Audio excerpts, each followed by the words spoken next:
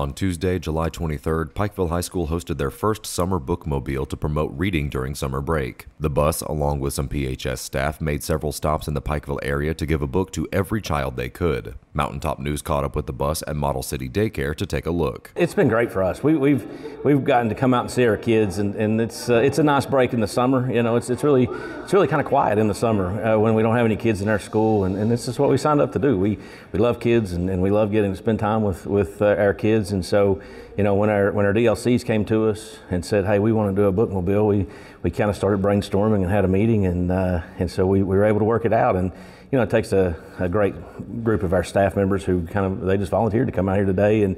And, and to go, come out and visit with our kids, and you know, a, a ton of credit goes to our folks who, who came up with this idea, and then they ran with it. And we appreciate Mike and, and all the folks at Transportation for being willing to, to take a bus and decorate it into a bookmobile, and uh, it takes a lot of people to be involved, and everybody's been willing to do that without complaining because they're really excited to get to see our kids and uh, to be out in our community today.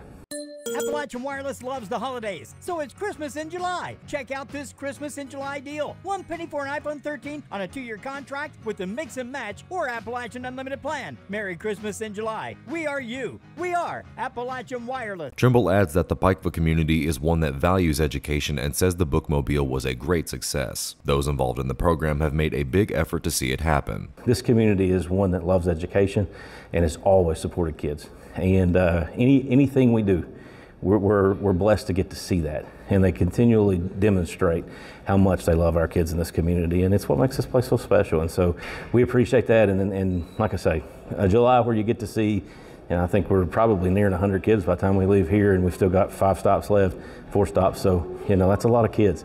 And, uh, you know, like I say, it's a business we're in, and we love it, and we're glad that we're able to get a little break and actually get out and see our kids today. Reporting for Mountaintop News, I'm Nick Collum.